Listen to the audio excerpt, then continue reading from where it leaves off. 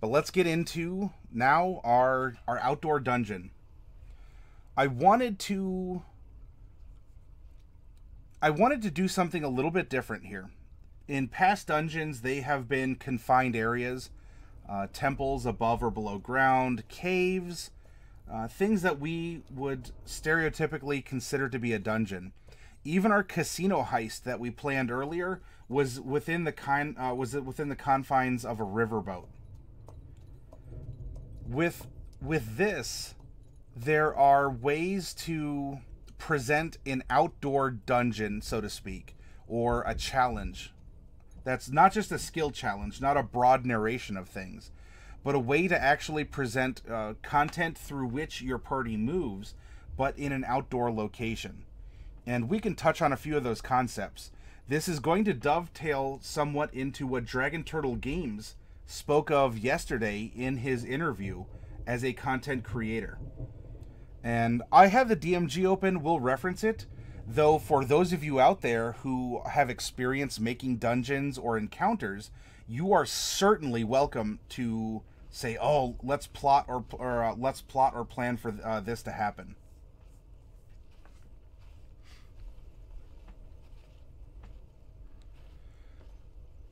If we go with our map that we had created, uh, you know uh, this this Outlands map. In fact, we have. So, this area here is Mesotopia, effectively. And even where you see the pencil going, this is even the outlands of what people could have some far-fetched claim of legal ownership of the lands in uh, in Mesotopia. As the party continues north and east to try and head off these expeditionary forces of the invading empire, we can run a dungeon in an outdoor location. It can have similar confines as a. Uh, it can have similar confines as a uh, as a dungeon, though with a more natural flair to it, in a, above and beyond caves. And we're doing this with the thought that, well, we'd have to consider what level do we want these characters to be when they head through this dungeon. Do they have access to the fly spell? Can they swim? Uh, what what could be going on here? Or do we do we want it lower so they're gonna have to get through that way? Or or do we want it to be a higher level encounter? And we say, look, this is going to be optional. Here's a mission that you can take. We as the DM, we as agents of the uh, Mesotopian Alliance want you to go and investigate this canyon because we understand that they uh, the Imperials are using this as a supply base, and we can't have this continue on. And it, you know, it might be that's the treasure, that's part of the loot that they're going to receive. Um, they can find out a lot of information, or if they really don't want to take that mission, you don't have to railroad your players into going into a particular place but you can incentivize them. You know, it's that it's that old adage of you can lead a horse to water, but you can't make it drink. And then it continues. However, you can make it thirsty. So that's something to bear in mind. How would we want to make our characters thirsty to explore this dungeon and not just to fly over it or um, nuke it from above with fireballs or something along those lines. Because if you're low level, eh, you're going to foot slog through it anyway. If it's higher level, you have a lot more options.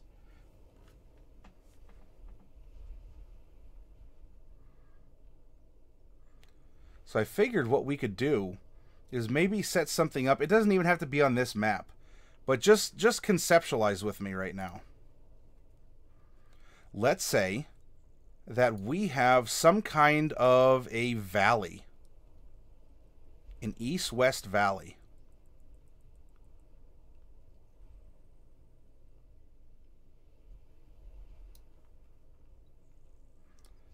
pass gets really narrow, kind of goes out from there. And there's another choice that they can take, and they can go up here. There we go.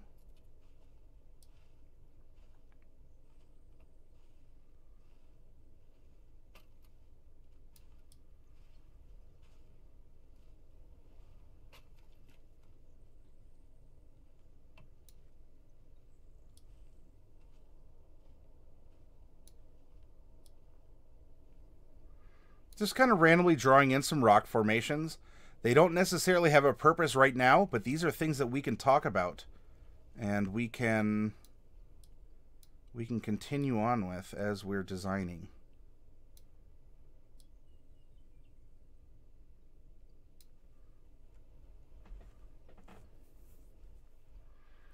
And maybe through here we can actually have There we go. We can have a river kind of meandering its way through. And let's actually have it go up and through this passageway here. So if the characters want to take door number one, they're really going to have to try and earn it.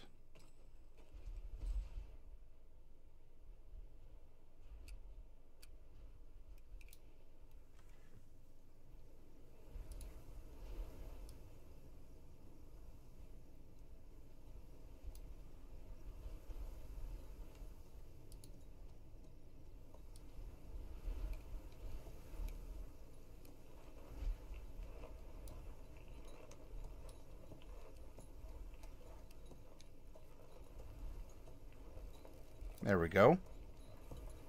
Now we can fill this in.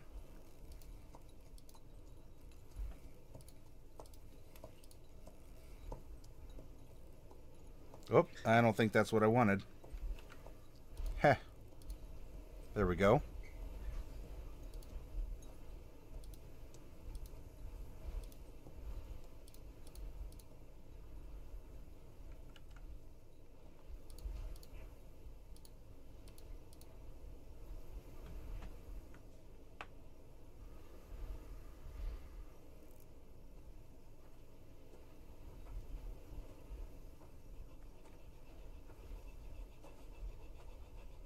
Yeah, we could do something like that. Uh, if we want to even say that this is a waterfall here, we can indicate that and put something secret, Bubonic One.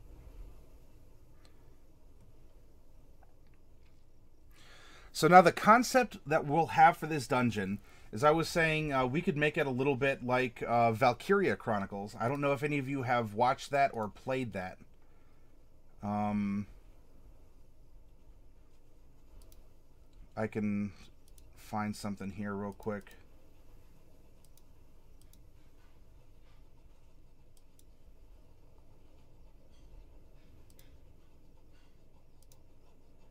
Okay, I think this is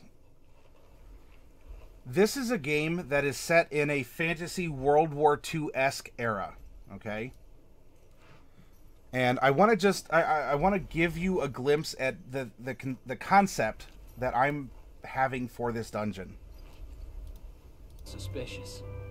So there's an invasion going on, and let's let's watch how this tutorial plays out. At the university, right? Guilty as charged. I get so into it. So here's our party. They're getting themselves together. Be watching me.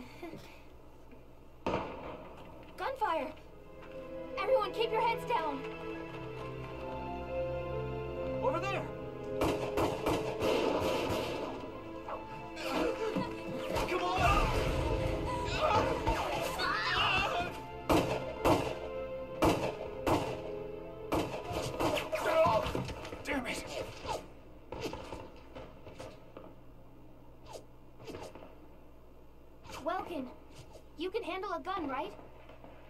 Yeah. I mean, I made it through training anyway. Well, they're probably just a small scouting team. We should be able to take them out. I'm with you. Yeah, let's So- do it. Friggin' family murderers. Jeez. The If commentary. scouts, why are they openly attacking everybody? All right, about saving the game. Uh, open the menu. So triangle, this is the yada, yada, tutorial. yada. We'll go Yeah. through it. it Anyway, it'll talk a let's little bit it. about the strategy, and Okay, here's So, the plan. This is how you can deliver this kind of outdoor content to a, a Okay, scrappy We've got to eliminate band. the Imperial Okay. scouts that are, that are uh, approaching Bruhl. We'll deploy here. We'll yeah. We'll deploy from here and take out all three of them. Just cross the bridge and take them down as fast as you can. Our objective here is to, to eliminate all enemies. Let's take care of them one at a time, nice and easy. Okay, so in order to win, you must kill all your enemies, and you will lose if Alicia or Welkin dies or 20 turns pass. That whole 20 turns passing thing, that is um, that's for every single level in the game, I'm fairly certain, and sometimes it's even less. Sometimes you have like a time limit. So here's that. point. They give you the map, So, and then you can strategically move through it. Um, I don't need to go much further because a unit, as you can see, this you is this is the whole point. You're going to navigate your um, way through You would just go ahead as and the players and it will cancel in you this environment. It's Uh, outdoors. another thing about this and mode is you that can you even see use the outdoors right for now. cover uh, or for advantage in certain situations. Stick, you know, the control stick to actually move it. But if you're at really close range or your target is very All right, so that gave you a splash of of what we're getting into, right? There, there's a meta conversation around this campaign, and especially around the dungeons. Real Dorgrim, it's not in Japanese. I'm not watching Harumph. Oh, Dorgrim the purist.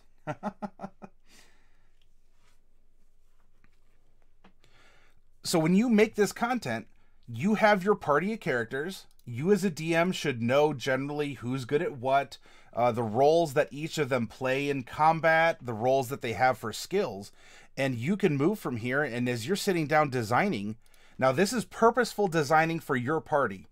This was different than what uh, Dragon Turtle Games was talking about when he was discussing designing for uh, designing for a mass market. And you can say oh well maybe there's a maybe there is a trail right? Maybe there's a trail that comes along through here and uh, and we can we, we maybe it's a gravel trail and we'll have our brush you know kind of come in here and you make a footpath or a wagon path and all the while you should be telling yourself a story what happens here who uses this place and for what? Just commerce or trade? Do people live here? Are there innocents who could be caught up in this conflict? You know, in that blurb, we saw that you know there was just a a, a man and a, a a man and a woman who were fleeing, probably like a husband and wife who lived in the village, and they had the misfortune of being outside at the wrong time, and uh, the wife ended up getting shot if you tell yourself a story about this place, it will help it come alive. As you imagine the trading wagons that are coming and going, as you imagine the commerce or the game that travels, what type of animals live here? It's not just important for your druid to know, and that's kind of a wobbly road, but you get the idea.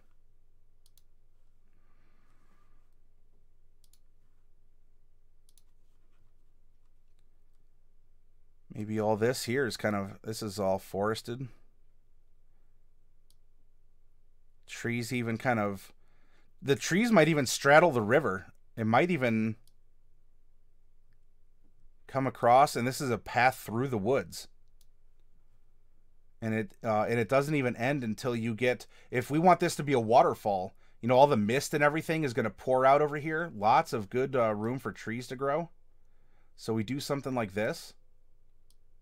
And now we've introduced cover, natural habitat, things along those lines. There we go. There we uh not quite that. we'll have to put another boundary on some of these here. Maybe this has been cleared out for the crossroads. Maybe there's been bandits. And that's why they cleared out the crossroads. That kind of a thing.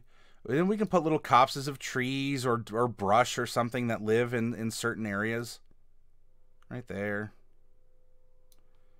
And maybe this is a little stand of trees that just exist in the base of the mountain here. Kind of doing their own thing.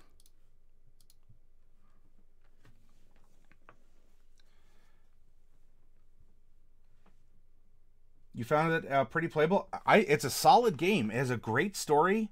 I think it was animated very well, very well voice acted, and it tells uh, at least the first one. I only have experience with Valkyria Chronicles one, um, but I think it did a very good job. So here we do not have an indoor dungeon. It doesn't have a grid per se. Uh, you can set this up on a grid, or if you want this to even be a hex crawl dungeon, you might be able to do that. This dungeon might be a couple miles long. Right? If we have if we have our staging area over here,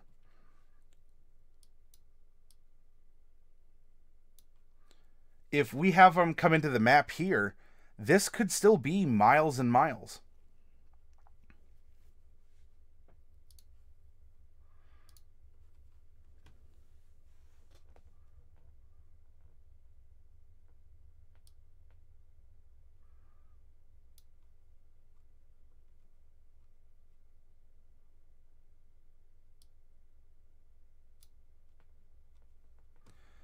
Now you can color code what you want this map slash dungeon to be.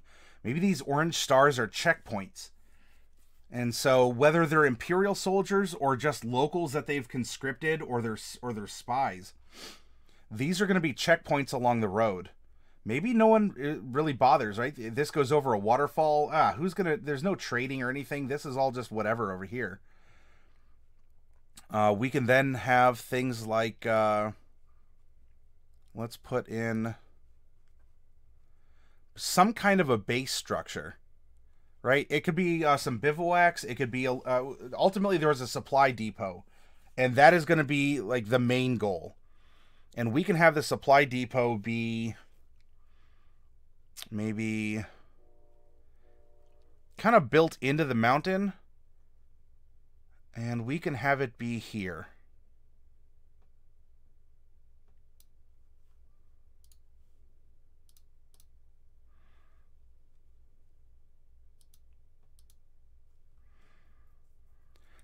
So at the very least, your party's going to have to sneak and or fight its way here and come down to take out the supply depot, infiltrating, bypassing, destroying or something these guard posts along the way. Yeah, some maybe some guard towers, and we can put uh, we can depending on the scale of the map, we can put little guard stations out here. In fact, let's do that. Let's make little um, we'll make little dark blue watchtowers. There's a watchtower here. There's one maybe up on the mountain. And there's one here. Because the checkpoint will also double as a watchtower, but it'll have more than one or two people who rotate on some kind of a shift. That means we're probably going to have one here as well. And this is going to have its own they might have a watchtower to send a signal unless if uh, enemies are coming up this way or if enemies are going to come up this road here. Let's see the site if you're here you could see if they're coming around the bend maybe right here.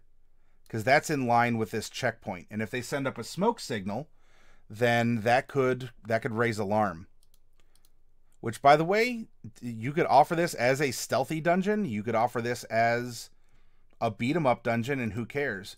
It's just that if you alert the guards to your presence, they well, they're things are going to get tougher.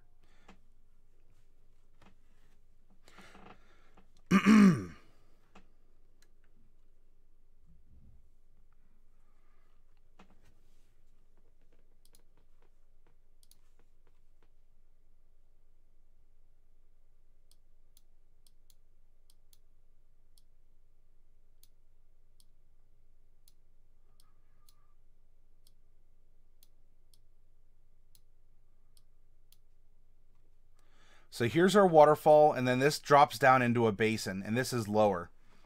And if we're making a DM map, we might know that there are friendly villagers who live. Uh, there's a friendly village who's been rather undetected because the the Empire doesn't really care. They live a little out of the way here, either in the woods or just beyond it. Uh, but here we'll we'll put them kind of on the edge here. So right there, those are some friendly people that might even be able to be recruited to help your uh, to help take caves or tunnel paths under the mountain, through the mountain, maybe even over the mountain. Remember, as you're designing a dungeon, even if it's for your own party, If you don't want to railroad them, give them several ways to interact with the dungeon. That uh, you know, look, even if they're if everyone was uh, proficient in perception, everyone can roll ones, and all of a sudden you're like, guys, I built this dungeon for you. What happened? Why can't you see the secret passage? Look, sometimes that happens. And so here you have this village of I don't know. We you could put in some race or another. It could be a, a bestial race. Maybe it's even an aggressive one, but one that could be neutral because they hate the Imperials more than they hate the PCs.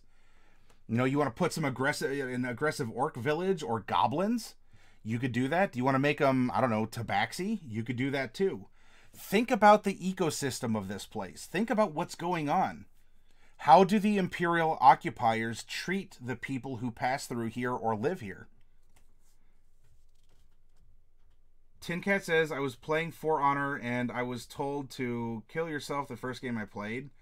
Uh, you know, uh, unfortunately, a lot of these games have uh, very toxic communities um, and or 12 year olds who want to try and speak like adults. And I mean, don't listen to it. If if people have to resort to that kind of language, Tin Cat, uh, especially when it comes to a newbie, you know, someone who wants to share in the same game that they take so much joy in playing these other people. Uh, I mean, they're doing a favor and they're making themselves um, they're making themselves not an option for you to consider to trust or want to play with. Though just remember that may not be reflective of the community as a whole. Yeah, you know what? Don't don't let that one person ruin that experience for you, Tin Cat. There's you're gonna find jerks everywhere. I mean, I've had to ban people from this channel. Um, you know, especially again, if they're using language like that, I would feel sorry for them. If they can't express themselves in any other way than by saying that, that is actually that that is very sad. So have patience. Say, "Wow, I'm." I mean, don't tell this to him because you don't want to. I mean, don't feed the bullies or don't feed the trolls. Um, no, don't. You, you don't even have to deal with it. Yeah, Tin Cat, don't take it personally. Just what? So what? Some random person on a video game tells you to do something that carries no weight. That person's not an authority figure over you. That person doesn't know you. Uh, that person is just very hostile and and sad. You know, you get on, play the game, get better, and don't reply to bullies like that.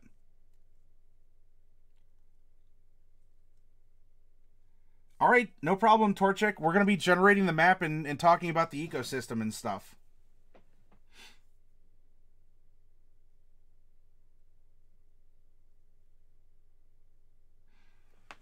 And uh, yeah, Torchic was correct. You need barracks for the soldiers. That could be this big supply uh, depot, right? It's located. Uh, it's located here. Supplies are coming and going. So maybe this is a, a more direct thoroughfare to other imperial installations when you and so this could have barracks this could have an armory this could have all kinds of fun stuff when you present a map like this even if you don't label it or even if you label it with a very broad these are guard towers these are waypoints and you know this is your your goal your players will probably start thinking oh man maybe we can uh maybe we can collapse the road on or or like uh, not collapse the road. Maybe we can uh, collapse rocks on these guard towers, or maybe we can burn things, or maybe we could just stealth the entire way. Don't be afraid as a DM if your players come up with a way to avoid every single encounter that you have planned. Reward them with that win. Because you've probably made it difficult to do, and by golly, if they did it, that is a victory. They don't have to kill every Imperial soldier now they can, and you you can plan for that too. Um, or even if they want to combine the two, how do they stealth kill their way through the entire valley? Hmm. If this is a couple miles long, they'd have to move fast, quick, and be professional about it before a shift changes. But this allows for a lot of thinking. It does allow for 3 D&D. In other words, you can fight up and down, not just laterally. Yeah, Delcorin, isn't that the solution to everything? Tin Cat says, when I died, I was at the hospital. The closest thing I can compare it to is the people will call astroplaning. I still have nightmares about it. Oh, you mean in um you actually Tin Cat, you mean IRL, not uh not in a video game. I thought you were talking about the game that you were playing.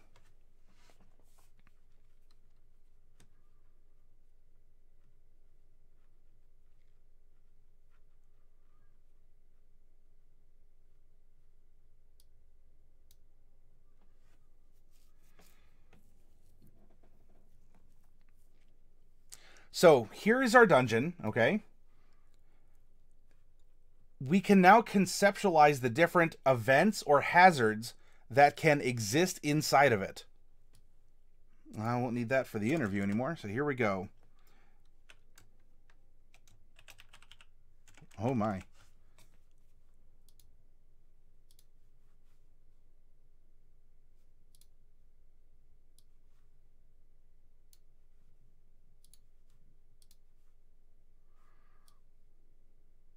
We'll put that up there. Let's put this over here. And we'll also consult the DMG.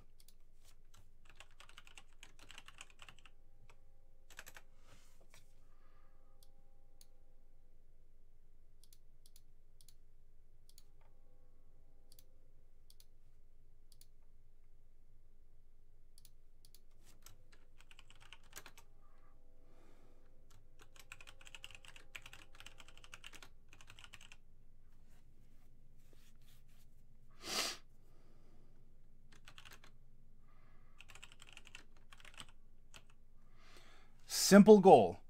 If this is the oh, can I roll or pick a chromatic dragon color for you? Sure. Let's bring this up real quick.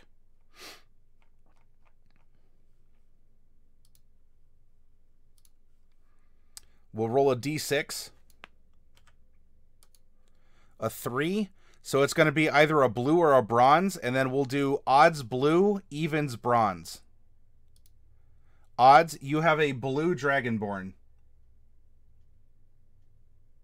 Oh, you even said chromatic anyway. Well, there you go. You got a blue. Even even the cosmic fates wanted you to have a blue.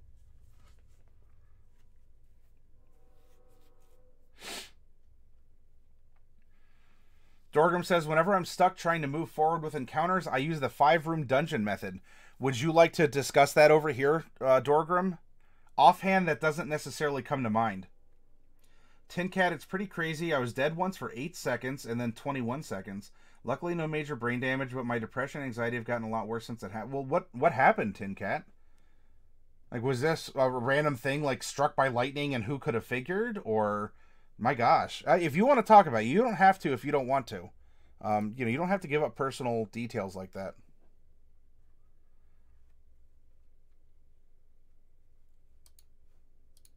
Mantarak, yeah, some Fus Ro Dah in here.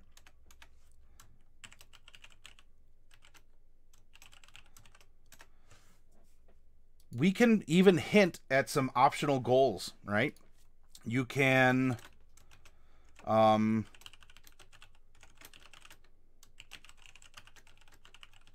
kill as many Imperials as possible. Um loot or disable the uh, the checkpoints or buildings.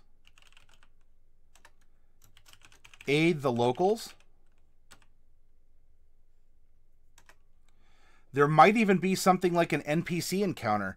Maybe there's like some old farmer on the road here who's getting harassed or is in is in need of having his wagon fixed. And if you if you help the old farmer with his wagon full of hay, maybe the old farmer can actually have the party members hide in the hay and take them past the checkpoint.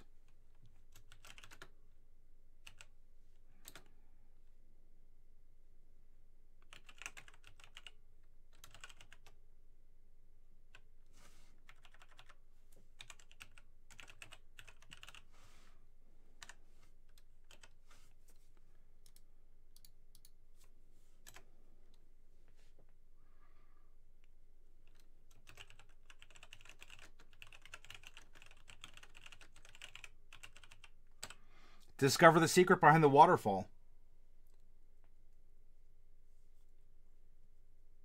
Oh, I'm sorry if it has been a few months, bubonic one. You'll have to forgive me.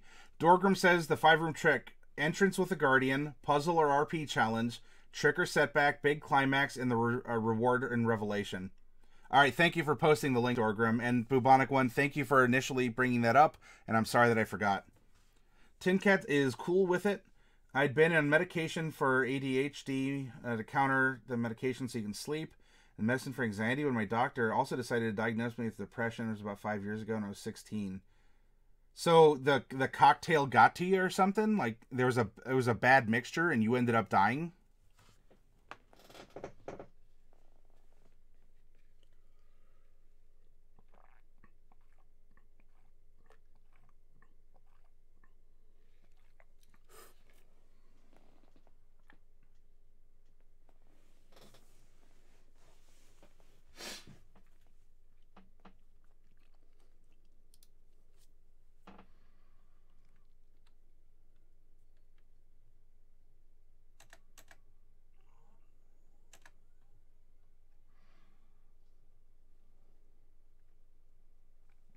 Now, if we take uh, the if we take what Dorgrim and Bubonic had referenced here, there are most likely going to be patrols or even a stray Imperial or something along those lines. Like just because you have towers doesn't mean that they haven't sent people out here, or especially are hiding in the woods to make sure that uh, there aren't anyone uh, coming along this route, or maybe even they decided to you know, if, the, if they're concentrated here, maybe a lot of the game in, in here has uh, been hunted. Or vegetation or mushrooms or whatever. Or even they could learn what if these woods are considered to be haunted, right? Maybe they're haunted because of the locals. And so they actually do their hunting in the grasslands here and in the forest here. So there you could have that entrance with the guardian fairly straight in in the beginning part of this dungeon, you would explain this is what it looks like. Do you want to run it daytime or nighttime? That's going to be up to you. If we stick with just the Imperial races, yeah, there's humans, but there's also tieflings. And tieflings can see in the dark. They don't need torches. That said, that is the that is the majority race or the dominant race anyway. So, are there more tieflings than humans? Maybe not. So that maybe your common imperial soldier is actually a human in that case, your party uh, could scout ahead or could have this knowledge, especially if we have agents of the Empire within the party itself. And uh, think about this too. If we have a spy from the Empire or these soldiers who defected, um, wouldn't that be interesting? Think of the role play as we get into uh, number two, as Dorgrim's talking about. You could go up and um, try and role play around here you could flash those military credentials and you know say oh yeah this is going on or uh, what's that trick from Star Wars where it looks like um, Han Solo was turning in Chewbacca for a ransom and then Chewbacca just sort of went nuts. Well, here you could have the soldiers, the, the brother sister soldiers, trying to turn in the, the these stray uh, people from Mesotopia, and suddenly that's when they ambush the Imperial party, who was either armed and maybe armored, but they were a hunting party Maybe they weren't ready for combat, so we slowly escalate, right? We have some uh, hunters or trappers out here. And then we get to the soldiers who are in their defensible stations. They might learn along the way that if there is a problem, there is a signal whistle, and that whistle could very easily bounce around. Well, maybe more so here. At the same time, there's also a babbling brook. So you have to watch out where you're at if you want to try and stealth it or go for a kill before um, go for a kill before they can blow their whistle or light a signal fire, depending on the time of day. Uh, well, Delcorn, you may have missed uh, Star Wars Day, but it is now Revenge of the Fifth.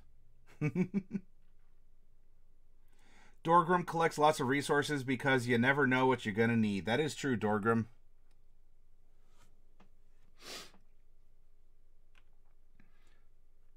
You know, a TRD, the real Dorgrim, is the SRD.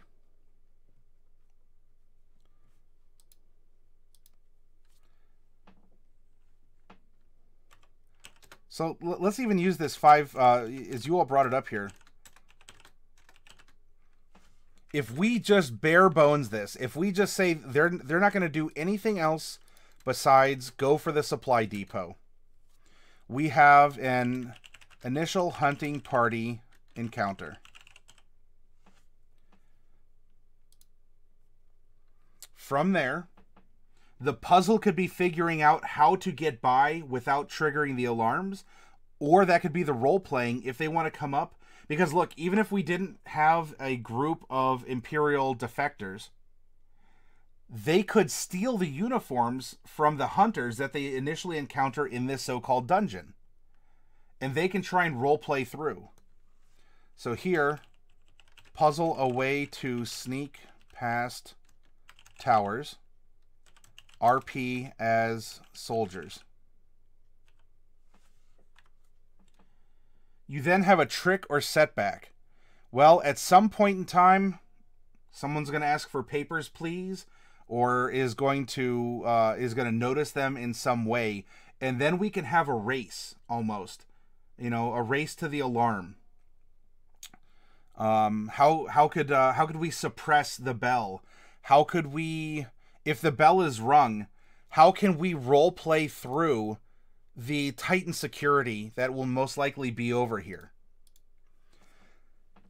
That can be something of a sensitive issue. Do you want to force a so called failure on your players? Or can you, as a DM, explain this happened? Can you deal with it? All the other station knows, especially look, there's a waterfall here that's probably echoing. They may have heard the bell, or maybe not, or they might just go into a defensive mode and are going to be more strict on what's going to happen.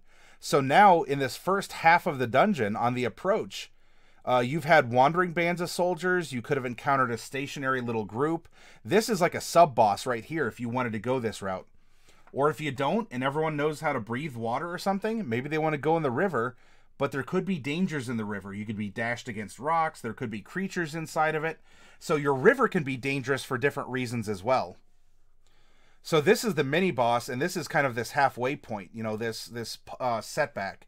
Maybe they defeat it, but with the dying gasp, the last soldier ding da ding ding da ding ding da ding manages to at least weakly ring the alarm bell, causing possible doubt.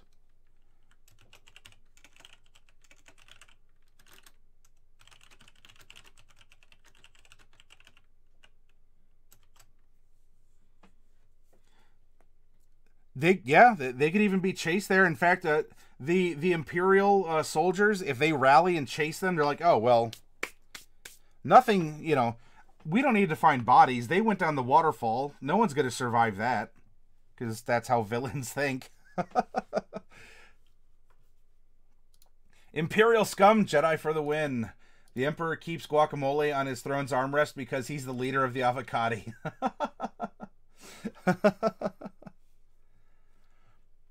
Uh, so then we have some kind of a, uh, a big climax. Alerted guards equals harder combat slash sneaky. This could mean, however, now look, you've now given your players a little bit more room to get around. Are they willing to climb over the rocks? It's slower you could be out of sight. You could also be way more vulnerable if you're spotted. Where are you going to run if you're clinging to a mountainside? Maybe you want to go that way. Maybe you do go over the waterfall and you have this random encounter here.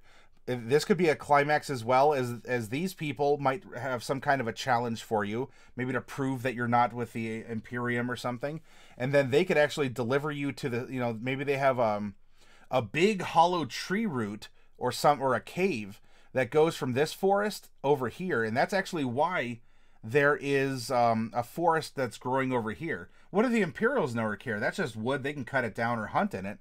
But maybe they don't realize that uh, th- these trees are getting their water from the river or something along those lines. And of course, you're the good guys and you care about nature, and so you would understand that. but you have you you can have a climax here either way things are a lot harder. You've had your warm up, you've introduced the dungeon and the mechanics to your players. And so now that we have a big climax, and that's going to go into a boss fight. Uh, so we could almost uh, make a, a subsection here for four. Whoop. Why why did this just reformat? That's Grr. Don't reformat, please.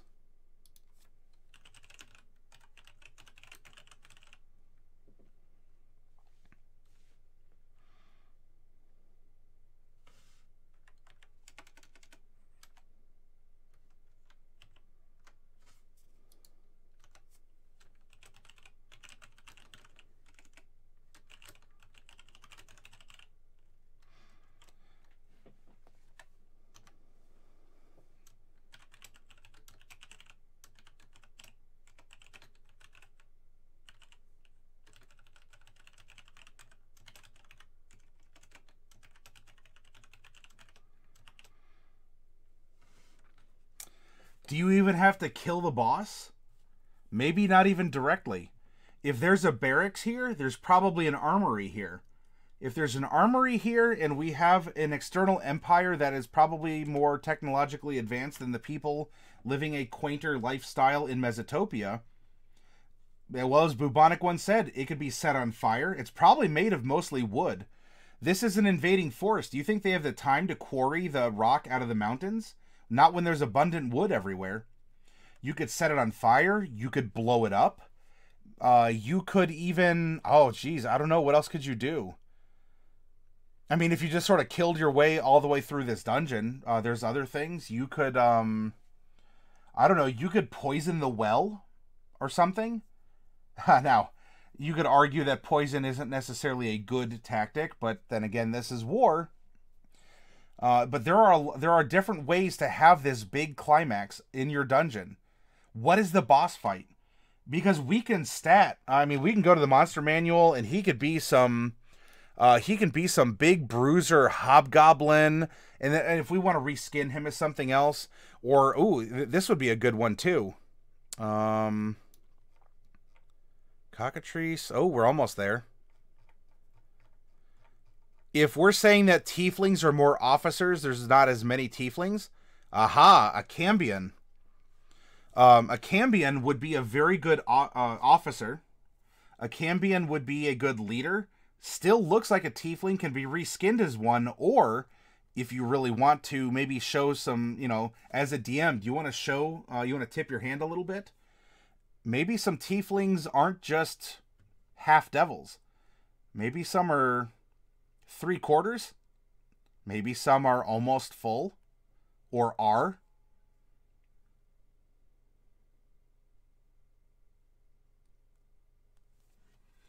Tin Cat, when my mom asked what happened, apparently the pharmacy had given me the wrong prescription.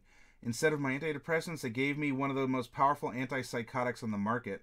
The antidepressant was to be taken three times a day, so I did. But the antipsychotic is so strong, it has to be crushed and taken slowly throughout the day. I ended up ingesting four times the lethal dose. Wow, Tin Cat. What was the fallout from that? My gosh. And uh, hello, Arachnocognito. Welcome back. It's good to see you. Yeah, uh, and you know what, Dark Wolf? If you don't want to just blow up the supply depot, if the party is feeling confident, what about stealing a supply wagon and taking all of the Imperial supplies back to the Mesotopian base? Right? If you have to report back, you have to do two things destroy the supply depot and report back. Could the PCs argue, hey, we killed everyone? Maybe you used a poison or something so it's clear? Uh, that could be a destroy effect. Or you could just blow it up or burn it down and report back, but you didn't say we, you know, we had to report back with nothing. In fact, look, we just we freed up a hundred swords. Here, here is gear. In fact, here uh, also here is uh, Imperial Army uniforms that other people can wear to try and uh, reverse infiltrate the infiltrators. That could be a, a goal as well. But your party is going to determine which course of action to take. Do you just want to blow it up and be the cool guys who walk away slowly from it, never turning back? Do you want to really try and spy it and thieve it and, and loot the place? either without anyone knowing or by killing everyone or by I don't know something.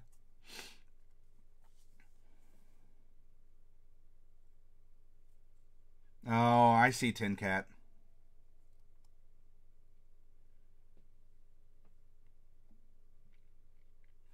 Dorgrim says, in my opinion, tieflings aren't half fiends. They have trace amounts of fiendish blood. Cambions are the true half fiends. Well, yeah, it's like saying half dragons are, you know, are uh well, they're half dragon. Cambions are more um more of that. In fact, Mordenkainen's uh, book is going to get into that uh, a lot more. So this is um th- that's true. I mean, you so you could say the Dragonborn are like a quarter dragon, and Tieflings are like a quarter they're they're the diet coke of evil, or the diet or the diet coke of dragon.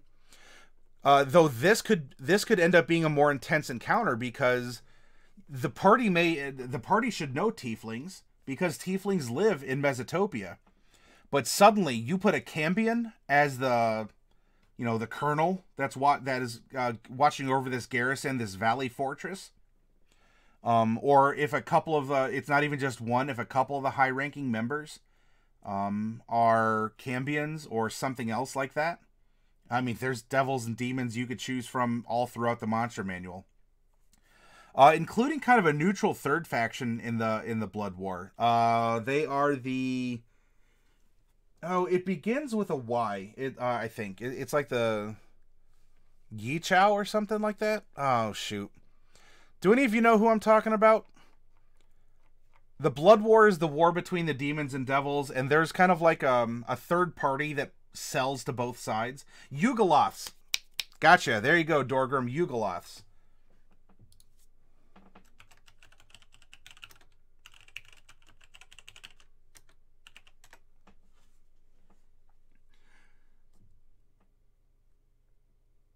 Dragonborns are very weakened half dragons. True half dragons are way more powerful. And uh, ooh, looks like uh, Delcorn did something similar. Your doc prescribed a much higher dose than I should have been given, and knocked me out. It was more of a sedative than antidepressant. Turned out to be an antipsychotic instead of an. Oh my gosh, woo! What stories? You know what? And, and here we presume that we're living, you know, the modern age. It's 2018. Everything should be tracked with bar labels and automatic chemical interaction warnings and things like that. And yet this has. the real Dorgrim earns his XP passively through nonviolence, surprisingly. So you can use this, especially if this is a lower level dungeon, to reveal what they might be encountering more of later in the campaign. In fact, maybe even the big boss character, uh, you know, they have a fly speed of 60 feet. The boss character might just wing it out of there, pun intended. And you'll meet that character again, maybe in another dungeon, right? Another strike in a confined area with a certain set of circumstances. Um, and so then we get into, by the way, here's our five. And that was the um that was the rewards and revelation.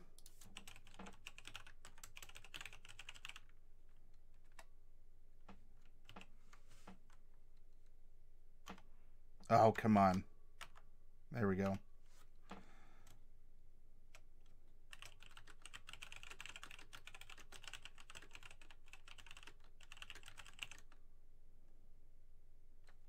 I'll just put revealing info. Imperial info. Rewards are bare minimum for job completion. Extended rewards for optional encounters. And up here this, and we can cycle back, kill as many Imperials as possible, we could then make a line saying loose change in pockets, loot disabled checkpoint buildings, uh, I don't know, a nice set of armor or something along those lines. You can go through and add extra points, bullet points to this outline if you want to reward these individual things. You know, do you want to aid uh do you want to aid the old farmer with the hay wagon? He might not have anything to actually give you, but if you ever pass through this way again, maybe you've temporarily earned the background feature from the uh, from the folk hero right? You're a folk hero. He's going to go back to his village and he's going to tell people about you all. And so everyone in the party has earned that background feature in that specific region. And that could be a great reward, especially if you're going to have Imperials chasing after you. So it's not monetary directly, but it can be very useful. Or if you discover the secret behind the waterfall, maybe this is something that even the locals in the village at the base of the waterfall don't know about. Maybe they're afraid to go in the cave. They, they know about the cave and they're afraid, or they don't even know about it for whatever reason. Uh, they just leave it alone, or they never considered going back there. You know, if it's a village of Tabaxi, they don't want to get wet, something like that. Um, and so that could actually have, if they are really willing to go out of their way in a dungeon, that could be something uh, powerful, a great reward, and maybe one that does require, um, even require a little bit of aiding the locals to get. That way, you're earning it not just by curiosity or luck, but you're still having to do a good deed. Or I'll tell you what, the the secret behind the waterfall can be its own mini dungeon. It could be it could be its own mini dungeon. You could have a sub five room encounter behind the waterfall. And wouldn't that be fun? A dungeon in a dungeon. yep, a mini dungeon.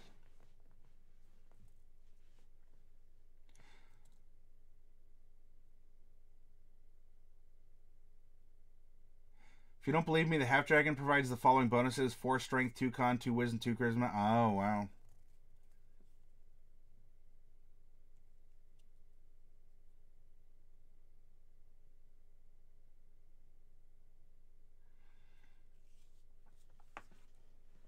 Uh, Tin Cat uh, is actually going into the experience he had while he was while he was dead. Um, but like I was saying, the entire time I was coated as well as while I was dead, I was pretty much floating above my body. I could see what was happening, and I watched myself die and get brought back. It was terrifying. My mom didn't believe when I told her uh, until I described her exactly what she did the entire time. She got a lot more religious after that. Uh, I could move around slightly. I could go out the room slightly to watch my mom, but it was honestly just so terrified I stayed near my body. That's a very fascinating story, Tin Cat, and it's a personal one too. Uh, I'm happy that you are comfortable in this community enough to uh, to share that kind of a thing. I mean, that, that's a very you know, that that's a powerful that could be a very intimate thing and thank you for sharing that. Uh, and bubonic yes uh, so the closer to a dragon you are the more of those aspects you will be.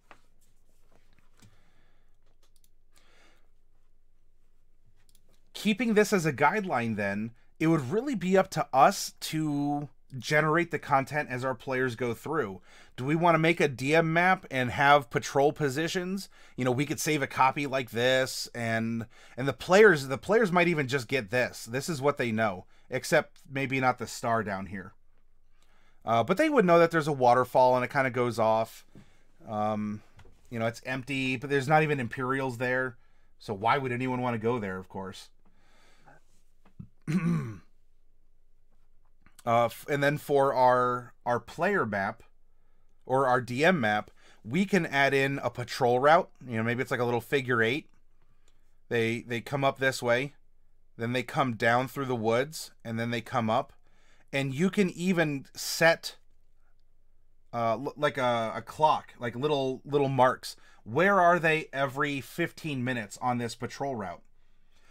As they are either hex crawling or if you do want to keep it as just an open loosey goosey map, this will better help you know the routes of your patrols. Maybe there's one here. Um, and there might not even be a patrol here because they know that there's a river that maybe it moves too swiftly, it's deep, or there are monsters or hungry things that live in there. So they're like, eh, whatever. We're not worried about it. We're not going to put someone on this little island. Uh, we're just going to make a secure checkpoint. And this is a bottleneck anyway going into the woods. So this doesn't have patrols, but it, do- it does have a stronger presence at the end. Uh, this is also where you can encounter some NPCs, and you could even generate that not all the NPCs are kindly village folk. Some of them might be spies themselves. Can your party discern that on an interaction with the uh, farmer with the wheel broken on his wagon? You know, would an insight help or a, a, some kind of a background feature or a spell or something along those lines? You can approach it from several different angles. So they can choose to take the the more dodgy, like stealthy, killy method, or they can take a direct, maybe a little bit more roleplay method here until they get to the bottleneck. And then the two can blend or split or intensify as you either have possibly hostile locals to work with or more hostile Imperials who are on some other kind of alarm level because of what happened. And you might even say, as a DM, I'm willing to accept that due to some circumstance, this isn't accelerated at all. Maybe they maybe they role played things so well that there's no need to raise the alarm and they actually just get snuck through. You know, move along. You're you're um Indiana Jones who snuck into Berlin to get your father's journal back. Uh, and you, there you are as a part of um, a, a, parade, a Nazi parade, and uh, you get your book back, and you know Hitler himself looks at the book, opens it, autographs it, gives it back to you, and kind of says, you know, move along, move along. You can pull off that kind of a stunt. I, as a DM, I'm not trying to kill my players. I want them to succeed, but I also want them to earn it because that's also where I, I get my measure personally. If I challenge them and I see them creatively thinking and overcoming ways, if they're outsmarting me as the guy who's pre planning everything, oh, thank you that's amazing and i feel justified as a dm that i did a good job and your players are going to feel excellent for doing it too yeah dorgrim and you know what watch watch movies like that. Watch indiana jones. And by the way if, if you did not know this uh, and imdb will back me up there are a lot of reasons why things in Indiana Jones seems cheesy and over the top. Because the movie itself was supposed to draw from the comics of that era and that style that were these over the top adventures. And of course you know all all the bad guys spoke uh, accented english. Um, you know uh, all of this was going on. So uh, it, it it is in some ways meant to be corny or hackneyed.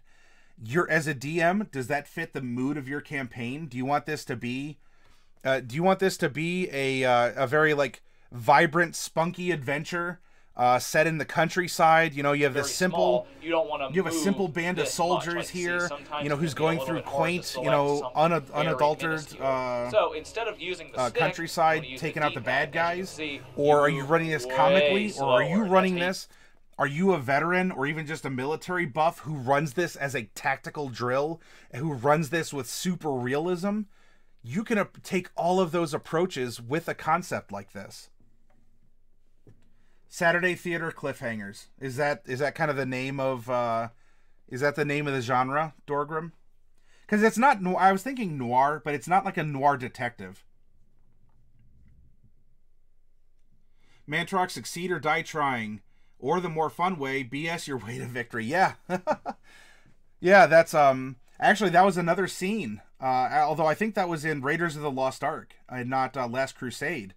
It's uh, when Indiana Jones was in the submarine compound and uh, he had just stolen a uh, he had stolen a guard's uniform and a guard came up and started of course the guard was talking German then because you weren't supposed to know what he was saying and uh, and so you saw this guard like talking down to Indy, and he just he stands up. He's like, oh, and uh, the vest was too small, so he's like, and he's playing along. He like combs his hair because he was like looking sloppy. So this guy, this uh, officer, was berating Indiana, and uh, and so he's like, oh yeah, yeah uh, this, and, and then he just goes like right across and knocks the other guy out and takes his uniform instead. Uh, so being able to uh to BS your way to victory, uh, you know, to blather, to charm, to offer uh, monetary favors. Because look, maybe not all the soldiers out here are happy and 100% loyal to the Imperium. Some of them can be conscripted. Some of them might have their families in danger. You know, if they fail their service, maybe their family will fall on hard times or just be killed. You could bribe. You could offer favors. Um, I mean, depending on depending on the people at your table, it could be intimate favors. Uh, you know, whatever the level of your campaign, uh, and that's appropriate for people. Get through it. Be imaginative.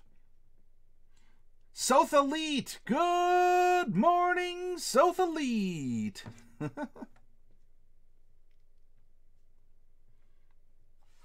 Dorgrim, I think the I think the theme, but not the actual name. There were shorts in between the movies, and each one ended in a cliffhanger. Ah. Sotha, welcome. We are discussing designing an outdoor dungeon. Yes, creativity is key, and and and not just creativity, um, or to go hand in hand with it, Mantarok, or I'm sorry, like uh, slithery uh, otherworld appendage to slithery otherworld appendage.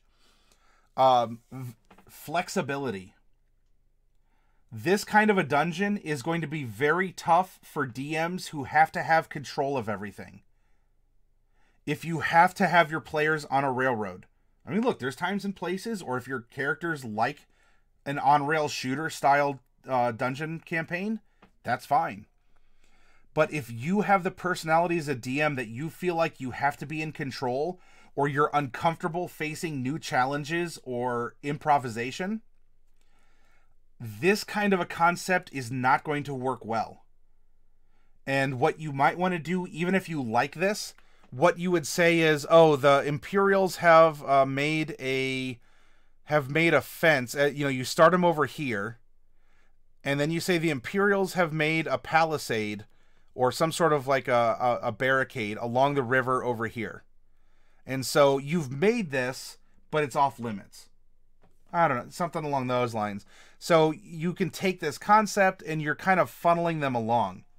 Also, if you think that your players will get distracted very easily, when they start infiltrating this place here and they start coming along, you can introduce a patrol force or a natural disaster or something happening behind them, forcing them to have to make progress in.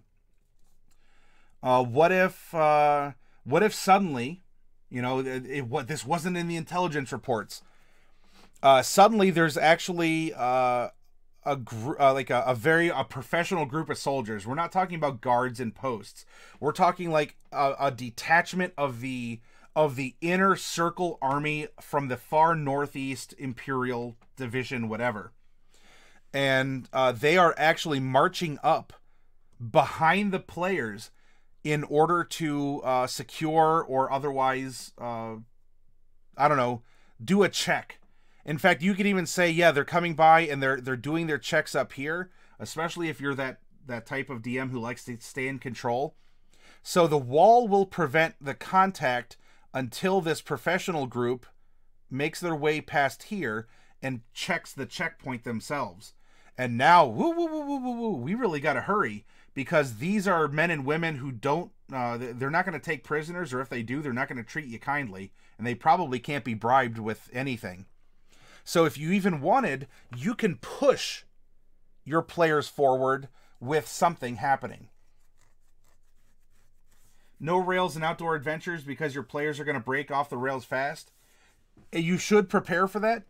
You know, you'll hope that the players will get, will take the wink and the nudge, you know, the off the off screen one and say, "Well, we're probably sticking to here." But you might have creative ones. Look, you might have a druid saying, "I'm going to turn into a giant eagle and I am going to fly over the mountains and land in here. I'm going to detonate the munitions and fly back. Okay. You completed the goal. You won the dungeon. You did. And, and you don't need to be sarcastic. You don't need to be passive aggressive. As the DM, you this is what you expect to happen. Now, if your players do that, they have missed out on all of this other stuff. They don't get extra rewards, extra experience, whether you're doing experience or milestones. Uh, they miss contacts. They miss uh, all sorts of stuff. They completed it, and maybe they each got, I don't know, you give them you give them 200 gold to split among the party and a thank you note from the commander for doing a, a job well done. If they take their time to liberate to liberate uh, enemy uniforms, if they bring back 200 swords that were in the supply depot, if they um, I don't know, if they help the local village, uh, like like the humanoid villagers, let alone the locals of whatever beast tribe or whatever orcs that are at the bottom, you know, once you're out of the dungeon, the dungeon's done. I mean, yeah, you could revisit, but the tension, the opportunity is probably gone. So, yes, you can cheese this dungeon very easily and let your players cheese it. If if they're a low risk, low reward party, they're going to get they're going to play how they want and they're going to get what they get. And I'm not saying that in a bad way. If they don't want a lot of reward or recognition or loot or money or advancement or whatever, this is them, you know, they'll feel creative. They'll feel like, yeah, we won. And maybe they don't care about not earning things that they didn't that they didn't know exist. Yes, allies, especially especially if we're playing like uh, spy versus spy or, you know, vanguard force versus like uh counter insurgency force or whatever as the two tendrils of Mesotopia and uh and the uh, Shadowheart Empire are coming together and kind of tickling and making contact, you want allies, you want fortifications. If you can think about this, if your party had a way to secure this supply depot, the Mesotopian Alliance, or whatever we want to call it, will have a supply depot they can now use this as a checkpoint, as a border patrol. They can use the the Imperial's very assets against them. So you want a hundred percent completion of this dungeon.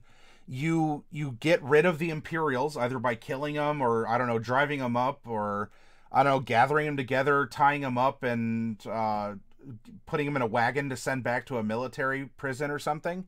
And you secure the resources the swords, the the gunpowder, I don't know, the vehicles, the animals, the food supply, the the towers, uh, the goodwill of the locals, whether they're the beast tribe to the north or whether it's you know Farmer Jones who's plodding along with a hay wagon here, and he lives off the map, but his Farmer Jones's family or the village of Jones or whatever.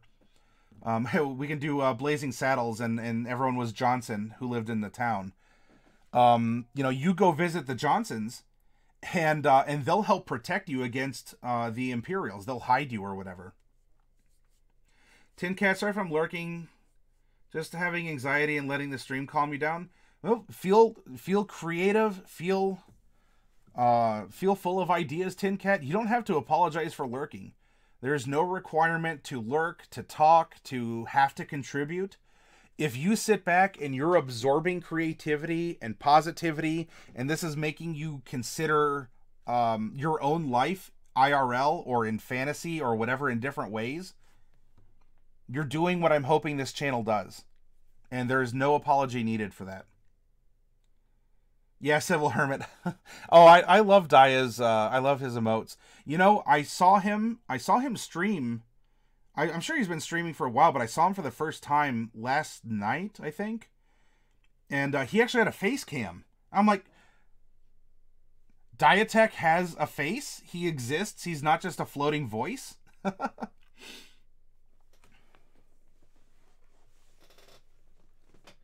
and uh, Bubonic, yeah, you know what? This could even be another mini dungeon.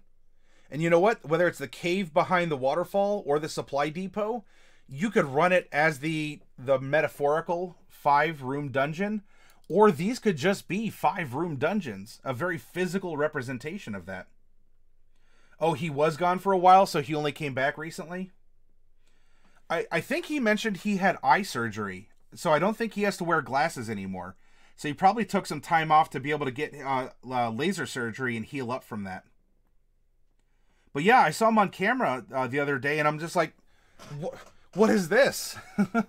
There's a man behind the voice. I just don't have to follow the uh, the the retina tracker anymore.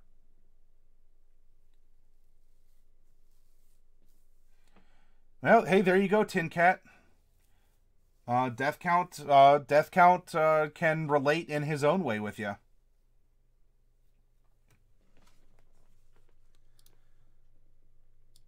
So, did we get into you know particular traps? Oh, I I bet Imperials left traps or hazards. You know, rocks can fall naturally, or there's hunting traps. You can trap this dungeon as much as you like. Uh, tripwire alarms. They don't even have to have I don't know like spiky logs like smacked together and squish you between them. It could just lead to a bunch of tin cans rattling like ding and suddenly you know that uh, the scouts know that someone has arrived and hopefully not humanoids. Hopefully they think it's a deer or something, though they're still probably going to come. So you can trap the the the tar out of this place, hunting traps. Uh, maybe if you're on the road, um, there's a pothole or something, and the pothole actually is a it is a, a pitfall, not a pothole, uh, because there's some kind of an underground. I don't know. There's water flowing through here, this uh, maybe if this is on a limestone base or something, there's uh, pockets and caves.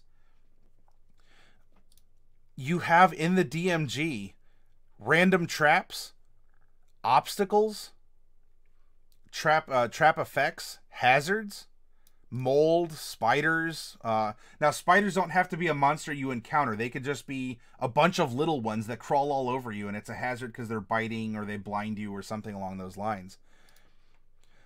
But hazards are often overlooked. The river is a hazard because there's monsters, because there's rocks in the bottom, and you could get dashed against them if you don't maintain an athletics of whatever's appropriate for the level. Uh, going over the waterfall, this this is a hazard too. So you can trap and hazard and put random monster encounters or monster quote unquote encounters if you wish. Tricks, treasures. I mean, what if for some reason they wanted to go on this island and there's actually I don't know uh, a bandit gang what uh, died there maybe or uh, something or maybe there's a bandit that fled. And uh, you you see you see evidence of imperial arrows in the backs of the corpses. Um and uh, while you find bodies maybe you find a map or a reference or a, a key and you're like whoa this has to go someplace. And they search the island and there's a random treasure chest because the Imperials tried looting uh, the or I'm sorry, the uh, the bandits tried looting one of the guard towers or the outpost or the supply depot, and uh, they only got this far. They they tried losing them, uh, but they died on the island, and you can recover their swag. These are all things for you to consider. Tell a tale, even if it's a murderous one or one with monsters. Dungeon dressing, there's buzzing or chanting or ringing or rustling or sobbing. Um, now, do you have to put? Is this the? Do you want to call this the sobbing valley? If so, why? What what makes it sound like sobbing? You don't really have to necessarily. You don't have to go into into that detail, but there could be all kinds of things uh, throughout here. Secret monsters, or what if they what if they climb up uh, this rock here and they find that there's a there's a sphinx and the Sphinx is kind of unemployed right now because someone answered its riddle and hasn't gotten a new command. So it doesn't really have to worry about blocking the road. And by the way, it's probably been sitting up there for 500 years. And it, it's seen a lot of stuff. Can you befriend it? Oh, sure. Hopefully. Look at this. I mean, the DMG, you can randomly generate odors. Do you want or need inspiration for a dungeon, whether it's outdoors or not? You want to generate a broken arrow, uh, cracks in the floor, a, a torn uh, a torn sack, or a harmless slime. Not all slimes want to eat you or your gear. Do you want to put a nest of uh, rust monsters living in the woods? Maybe that's why everything's uh, you know, this is all woods and and everyone here is wearing leather. But of course, the Imperials aren't going to put a warning out about that. It's up to you. This is a great this is fertile ground up here for your imagination. As a dungeon, you've told a story.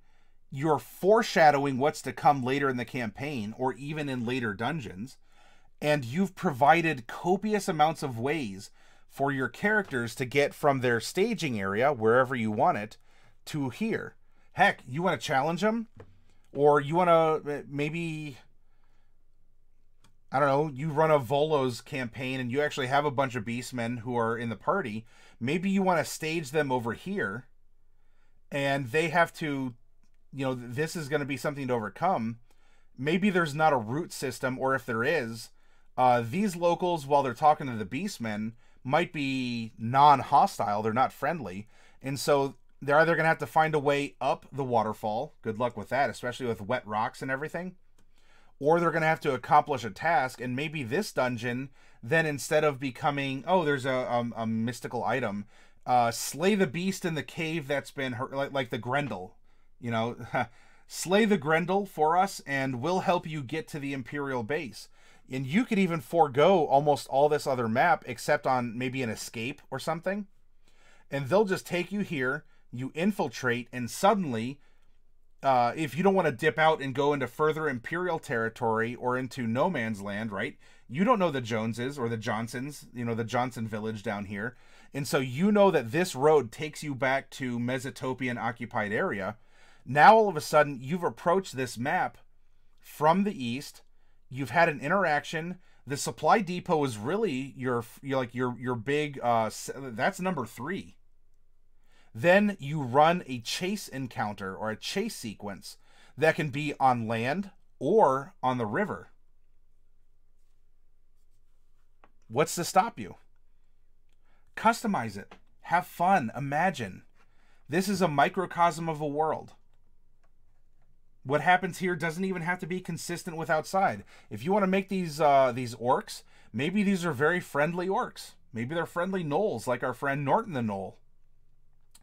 Um, maybe they're super mean tabaxis.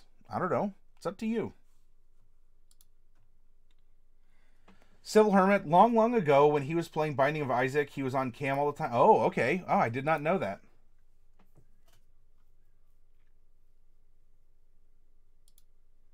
Dorgrim says, I actually have in my DM binder a cheat table for creating traps or hazards on the fly. Yeah, and uh, the. Da, da, da, let's go to.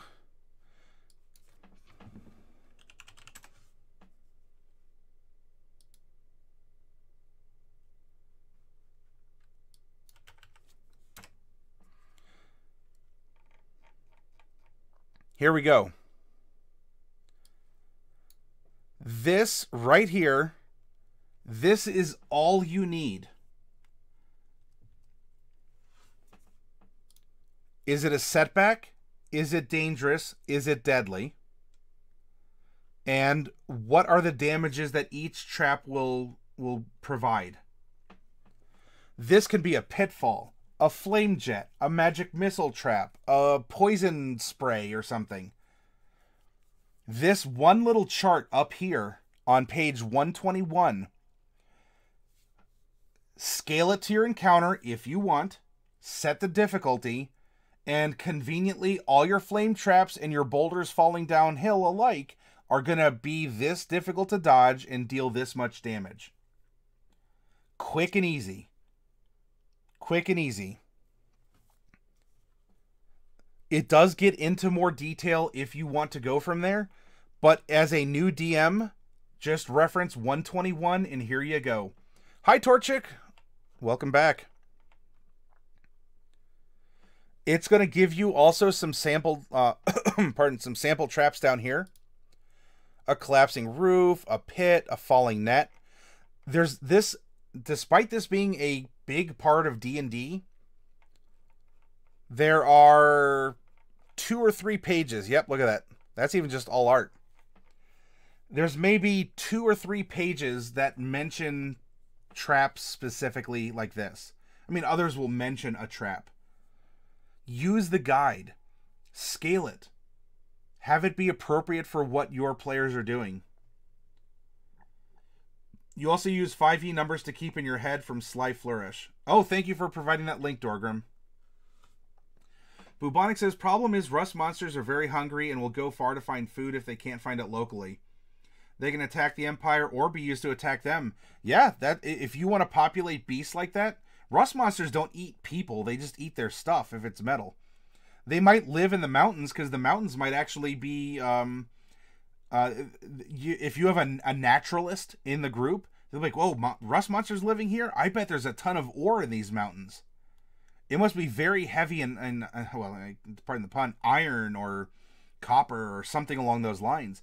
It could be a valuable resource to come back and report on. Maybe they get a little bonus for doing that, for for describing the valley. Because in their report there sure was nothing about rust monsters. But what would that mean? Rust monsters live there for a reason. And if the party just discovered an almost literal gold mine, that could be huge, both for the morale of Mesotopia or as a blow against the Empire. Rust monsters are always hungry. Yeah, so let's go around with their little feelers and, and kind of bap at you and, you know, eat anything that's metal.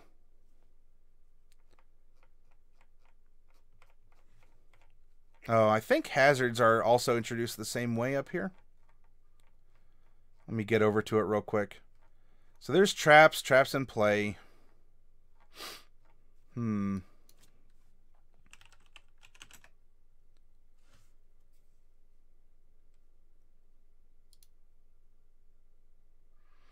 Disease, poison, exposure.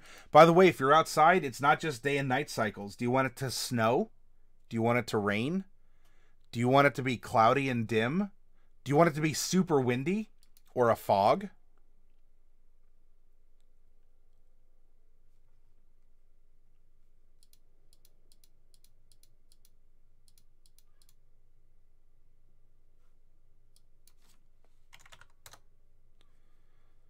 Here we go, dungeon hazards. So a hazard isn't necessarily like a trap, although it has elements of it. You know, mold, webs that slow you down, things along those lines.